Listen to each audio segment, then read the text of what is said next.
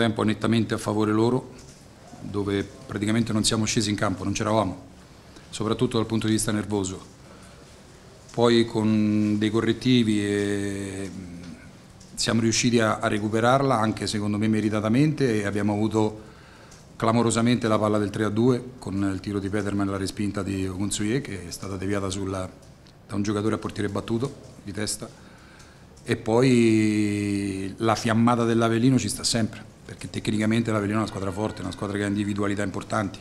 Quindi la, la fiammata ci sta, la, la, giocata che possa essere del singolo piuttosto che del, dell'impatto emotivo della squadra puoi, del ritorno te lo puoi aspettare. Arriva da un calcio d'angolo con la difesa completamente schierata e questo naturalmente eh, dispiace tantissimo, però resta il fatto che un conto è il risultato della classifica, un conto è la prestazione. Eh, prego, prego, sì. delle Foggia, eh, come spiega questa eh. metamorfosi eh. tra il primo e il secondo tempo? Perché Foggia ha fatto un primo tempo obiettivamente da 3, massimo 4 No, io direi forse anche più. No, non pervenuto, cioè non, non, non pervenuto. Secondo tempo da 8 in progetto, perché a un certo punto davvero andato vicinissimo un clamoroso ribaltone. Lì ha cambiato, no? Perché la qualità di Peralta per certi versi ha fatto anche la differenza, no? Aiutato, aiutato. Aiutato, però credo, almeno magari lei potrà essere d'accordo o meno, che la svolta sia stata più mentale, no? Eh beh, è inevitabile, qualcosa primo, tra primo e il secondo tempo ci siamo detti è inevitabile che, che, ci sia stata una reazione, ma non può essere diversamente. Noi siamo una grande squadra, non siamo una squadra qualunque. E non mi meraviglia il secondo tempo, sinceramente mi meraviglia il primo tempo. Non mi aspetto una squadra in quel modo in campo nel primo tempo che prende due gol perdendo rimpalli. Mm, cioè il primo gol è, è, è difficile da da spiegare tecnicamente a dei giocatori esperti come i nostri quali sono gli interventi correttivi da dover prendere individualmente in, quelle, in situazioni come quelle, dove c'è una, una, uh, una, perdita di contrasti, leggerezza nel, nel, pressare, quindi distanza molto lunga dal portatore di palla, marcature lente in area di rigore, lettura in ritardo nel voler andare a contrastare, palla che si smorza, arrivi in ritardo, cioè troppa roba all'avversario, forte, troppa roba. E, e anche il secondo gol nasce probabilmente, se vogliamo essere pignoli, poteva esserci una gamba tesa su Peterman che era in uscita, però quelle sono situazioni di gioco che ci possono stare, cioè io anche mettendomi nei panni dell'arbitro capisco che sono, è uno dei miliardi di contrasti che ci sono nell'arco della partita, posso anche lasciarlo andare, però non possiamo poi prendere il gol guardando la palla e perdendo l'uomo a 5 metri di area di rigore ma questo non per colpevolizzare chi magari in quella posizione del campo deve intervenire, no, ma se dobbiamo commettere degli errori è meglio averli commessi adesso perché se guardiamo questa partita in ottica playoff è un risultato ottimo se guardiamo in ottica playoff perché ci permette poi in casa di avere il vantaggio dell'1-0, no? non di dover fare chissà quanti gol, quindi di poter eh, avere questo piccolo vantaggio, piccolo, perché in caso di parità poi si sa che chi gioca in casa la seconda vuol dire che classifica si è piazzato meglio, però qua siamo andati molto oltre. E, dispiace, poi il secondo tempo è stata una squadra diversa, ma non soltanto per Peralta, è stata una squadra diversa, più coraggio, più voglia di fare, la novità non è stata Peralta, la novità è stata i due mediani, cioè mettere un, un centrocampo a due, dove per caratteristiche tra le altre cose si, si integrano anche bene Peterman e Auger, però resta il fatto che comunque era la prima volta dopo tantissimo tempo che veniva schierato un centrocampo del genere, ma non potevamo fare diversamente, però secondo tempo è stato deciso da un episodio, dai. sbagliato da noi e trovato da loro perché anche poi il tiro del gol non è un tiro, eh, il loro terzo gol non è un tiro, come devo dire, irresistibile, eh, è un tiro abbastanza smorzato, lento, insomma non è, non è un tiro che, imparabile, ma sempre non per colpevolizzare.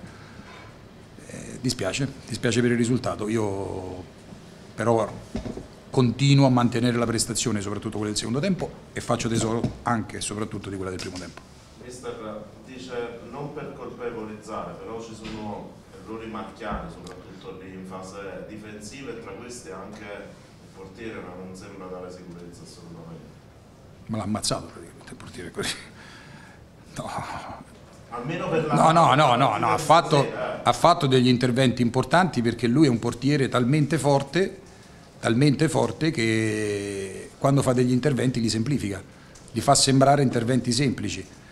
Eh, Poi è normale che sul terzo gol eh, si può arrivare prima, si può arrivare dopo, insomma quello poi fa parte del, dell'episodio, ma io Tiam me lo tengo bello stretto perché Tiam credo che sia a mio avviso il miglior portiere di tutta la categoria, di tutta la Serie C, senza nulla togliere a tutti gli altri, però è un portiere di una bravura unica e poi non è bravo chi non sbaglia mai, è bravo chi sbaglia meno. Se c'è stato un errore ne ho fatti tanti io, ne farà qualcuno lui, ne faranno altri, ma io non lo colpevolizzo affatto, ritengo che sia un grande portiere. E la difesa invece? L'ho detto prima, dispiace per aver preso tre gol a difesa schierata. Questo, ci sono cose che si possono allenare e cose che non si possono allenare. È il mestiere del tirare in porta, il mestiere dell'attaccante, non ci sono esercitazioni che glielo migliorano o glielo peggiorano, ci sono condizioni che glielo migliorano o peggiorano. Però se uno fa il difensore e uno fa l'attaccante, in carriera un motivo ci sarà, perché evidentemente uno è più bravo a tirare in porta e un altro meno. E lo stesso discorso vale per il difensore. Ci sono momenti in cui non puoi insegnare l'arte del, dif del, difendere perché ci sono delle marcature uno contro uno eh, che devi saper fare con, con grande applicazione e con grande mestiere. Eh, C'è un giocatore che è entrato nella fine della gara nell'Avellino che credo che se lo mettiamo a fare l'uno contro uno in fase difensiva pochi sono forti come lui. Oggi non ha giocato, poi è entrato negli ultimi minuti proprio per difendere il risultato, ha capito a chi mi riferisco. Aveva una barba lunga se se lo ricorda. Eh, ci sono giocatori bravi a fare alcune cose, altri che ci devono lavorare. Dispiace perché più che difendere in 10 non possiamo, più che difendere in 10 in area di rigore non possiamo. Eh, difendere in 10 in area di rigore e lasciare l'uomo libero vuol dire che è disattenzione, è, è una mancanza di lettura in anticipo, ma questo è anche colpa dell'allenatore perché l'allenatore probabilmente deve dare una disposizione difensiva diversa, soprattutto in quel minutaggio per cercare di agevolare la fase difensiva qualora ce ne fosse bisogno per carenze individuali. Mister, il secondo tempo, buonasera mister, Antonio Modicon, ho commentato la partita per Ilere. Il secondo tempo di oggi, come diceva giustamente lei, ha dimostrato che poi la qualità fa la differenza soprattutto in mezzo al campo. Oggi il Foggia però ha dovuto denunciare a Schenetti, che è un giocatore particolarmente Anche di Noia, anche Beretta, anche Vacca. Beretta anche Vacca. Si sta immaginando il Foggia eh, con i tanti Vede- e su Schenetti soprattutto se ha l'opportunità di ritornare Io sono la terza partita. La prima partita d'Andria avevamo tutta la difesa fuori. Oggi avevamo tutto il centrocampo fuori. E giocava Peterman in una posizione diversa che quella che solitamente occupa. Eh, andiamo a reparti, non è che andiamo a singoli, andiamo a reparti, perché il nostro centrocampo in questo momento sarebbe stato Peterman, Vacca, eh, scusa, Peterman eh, Di Noia Scanetti. Eh, in alternativa avevamo provato Vacca fino all'ultimo momento, poi ieri in rifinitura ha avuto un risentimento muscolare e quindi l'abbiamo perso. Eh, siamo andati in emergenza non tanto per quello che potevano essere i giocatori che hanno giocato, quanto per i cambi. Eh, lì nei cambi non avevamo altre alternative, dovevamo adattare ancora qualcuno fuori ruolo e allora abbiamo preferito andare con un centrocampo a due e mettere un giocatore con caratteristiche più offensive. Però io mi auguro di recuperarli perché questo, questa prestazione più la possibilità di avere altri giocatori in, eh, in panchina che possono dare ulteriore qualità quando ci sono i cambi diventa fondamentale per una squadra importante. Mi permette di dire, mi permette di, di dire una cosa? Faccio un grande in bocca al lupo al nostro Battimelli perché oggi fa l'esordio in prima squadra, nel 2005, fa l'esordio in prima squadra, quindi è giusto che gli venga riconosciuto questo esordio che, che viva tantissimi di questi giorni, tantissimi, non, non dal punto di vista del risultato ma dal punto di vista del piacere di aver esordito. Prego. Già mercoledì recuperi qualcuno? No, no perché di noi, ha, di noi ha un problema muscolare, Schenetti zoppica, quindi ha un problema, un edema osseo e quindi ci vuole tempo per poterlo recuperare, non è una cosa di poco conto. Mister Michele Barbaro, Medico Channel, da Foggia. Due domande, perché di Pasquale a sinistra? Perché Conte che è un centrale e Pasquale è un manci- di Pasquale è un mancino che può fare il braccetto di sinistra. Sul discorso di Peterman eh, Mezzala penso che insomma un esperimento da non ripetere più. Ha visto la partita? Sì, Chi ha avuto la palla gol del 3-2 noi, e chi l'ha tirata? Peterman. Facendo quale tipo di movimento? Un, Bene, un inserimento da mezzala. Vede? Insomma, poi alla fine si è ripreso. Eh, l'unica cosa. Non è una, cioè, io ho risposto con- facendo rispondere a lei, non è una polemica assolutamente. No, assolutamente. Poi ci sono delle situazioni che possono andare bene, altre po- po- meno bene, però le ho risposto facendo rispondere a lei. L'unica cosa, forse se la chiede tutta Foggia, due gol presi allo scadere del tempo. Insomma, tenuta mentale, obiettivamente Eh sì, no, ma risolta- abbiamo fatto, abbiamo ripetuto Giuliano, due pari. Non lo so, Giuliano non, C'era, però- Giuliano non la conosco, però... Per- sì, assolutamente, ma il per- assolutamente sì. Il problema non è aver preso i gol negli ultimi minuti della gara del primo e del secondo tempo, il problema è aver fatto un primo tempo su tutta la falsariga di quei minuti. Cioè, abbiamo fatto 50 minuti in quella condizione. Eh, sono troppi, no? Non puoi... Anzi, dico di più, ci è andata pure bene. Al primo tempo ci è andata pure bene che è finita 2-0 per come abbiamo giocato, quindi domanda- mancanza nostra, molta mancanza nostra. Ultima domanda, ce lo chiedono Beretta e Vacca. Dobbiamo aspettare i playoff? No, allora Beretta, Beretta ha ripreso a ritmo gradualmente con quella che è la condizione del momento, però è guarito clinicamente, quindi sta riprendendo la condizione atletica per essere poi pronto per, per entrare in campo. Diciamo che già della partita di Cerignola può essere un giocatore per un tempo disponibile. Facca ha avuto un problema muscolare, adesso bisogna vedere, l'ha avuto ieri mattina, adesso bisogna vedere questo problema quanto tempo durerà, perché se non abbiamo fatto ehm, analisi strumentali, quindi siamo sulle sensazioni del giocatore e su quello che ha toccato lo staff medico, Eh, però sta di fatto che c'è un indurimento al polpaccio e adesso bisogna vedere se c'è una lesione o semplice indurimento, semplice indurimento tre giorni stiamo a posto, se c'è una lesione bisogna vedere il grado, in base al grado poi ci sarà il tempo di recupero. Di noi ha visto i tempi di recupero. No, di Noia eh, c'è una lesione al polpaccio, quindi è una, cosa, è una cosa che ci vuole tempo, ci vorranno almeno una ventina di giorni. E Schenetti è un edeme osseo, l'edeme osseo è una cosa molto personale perché non c'è niente ma fa un dolore incredibile e lui non riesce a appoggiare il piede, ancora oggi non riesce a appoggiare il piede a terra, quindi non sappiamo quanto tempo ci metterà per assorbirlo e poi di conseguenza per poter essere in campo. Non credo che Boconzi sia stato ammonito, cioè a me non Sì, sì, è stato ammonito alla fine del- sul gol del 2-0 per protesta, non gioca. Vuole già la formazione? No. No, no. Una, una curiosità, qualche settimana fa l'ha commentata questa Serie C, ora la sta vivendo da, da protagonista. Voi più in generale, vedendo l'andamento di tutto il campionato, eh, ci sembra una Serie C che è altamente penalizzata dal punto di vista delle condizioni arbitrali. Anche oggi mi sembra un arbitraggio che ha scontentato sia lui e soprattutto anche la.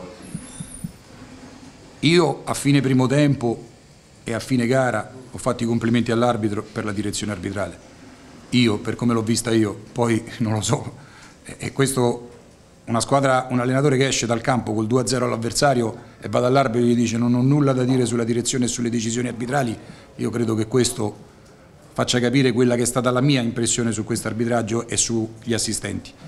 Io mh, poi ritengo che lui sia personalmente uno dei più bravi in assoluto della categoria, quindi Mister, mi scusi, non per polemizzare. No, ci mancherebbe. Ma Nel primo tempo eh, fallo di Costa su Ricciardi credo che insomma non era da giallo, probabilmente era proprio da rosso. Non l'abbiamo visto in televizione, perciò mi permesso di Eh, però probabilmente si è distratto sul fallo che ha subito Costa all'inizio del secondo tempo tra le due panchine dove lui ha spostato la palla in velocità, palla lontana, è arrivato l'avversario, l'ha preso nettamente, ci sono due motivi perché il fallo è molto grave, due motivi, uno a palla lontana e uno la volontarietà di andare a far fallo interrompendo un'azione con gioco pericoloso.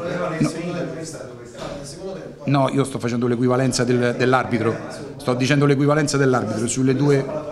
Sì, ma io ho risposto dicendo è equivalente, da una parte ha deciso, ha deciso uguale anche dall'altra, quindi non è che ha fatto una cosa a favore di uno e contro un altro. È stato coerente, è stato coerente, per carità. Io non ho nulla da dire, io sulla direzione dell'arbitro personalmente esco sconfitto dalla gara e dico secondo me l'arbitro ha arbitrato bene. che lei però in fase iniziale avesse detto che sul primo gol poteva esserci un No, un eh, fallo. eh, io sono andato, eh, lei si è soffermato solo sulla sul titolo, poi c'è stato l'articolo dentro, la- lo sviluppo della considerazione. Sono uno di quei mille interventi all'interno di una partita dove un arbitro può anche lasciare andare perché sono interventi che ci stanno, a volte li può punire, a volte no, quindi io non mi lamento se non me l'ha dato, dico ci sta, poteva starci, non l'ha dato perché evidentemente non l'ha ritenuto opportuno. Io generalmente sui 90 minuti della direzione arbitrale, della terna arbitrale, ma soprattutto anche della grande educazione che ha avuto il quarto uomo nei confronti delle panchine, io non ho nulla da dire. Poi io parlo dal punto di vista allenatore del Foggia e parlo del Foggia. Poi mi parlate dell'Avellino, c'era Rastelli, chiedetela a lui, non voi chiedete a me, chiedete a Rastelli. Quindi io parlo per quello che è la mia, il mio punto di vista, per quello che è la mia squadra e per quello che sono state le mie eh, visioni delle cose.